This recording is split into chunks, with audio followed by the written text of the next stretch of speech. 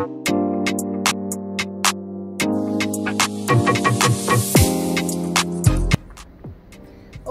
to NainuTube.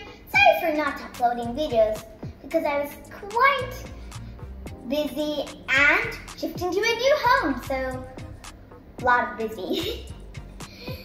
so today's experiment is a cool experiment. It's my favorite experiment and you might also like it. So it's the experiment is cloud in a jar. What? Cloud cannot fit in a jar. Well, we can make clouds in our own home. So the things we need are hot water and be careful with this, a jar, some perfume, and some freezing cold ice. And I have here my cutie dog over here. She's so cute. She's really adorable.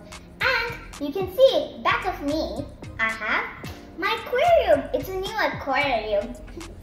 so, let's start with our experiment. Let's get started. So now I'm going to ask my mommy to pour the water to the jar because it's dangerous for kids. Okay, then put your eyes carefully.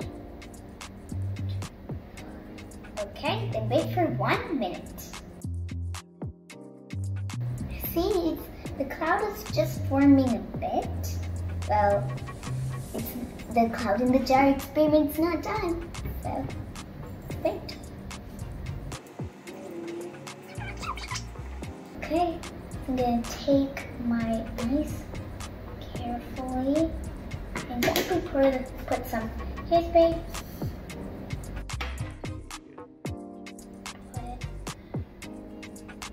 Just wait for one more minute again and you will see the cloud. Something is happening! Now we're going to open the lid. I'm so excited! Oh, wow! Cloud in a jar. Woo! It's so cool. Wow. Do you know what happened? That when we pour the hot water, the vapor tries to escape. And we have kept ice on top of a jar. And the ice thickens the vapor. But still we can see the wafer because it is really tiny. Next, we sprayed perfume and the wafer thickens more.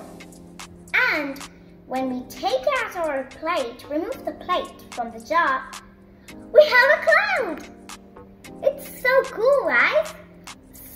So, please give this video a thumbs up, click subscribe and ring the bell to receive notifications every time I post a new video.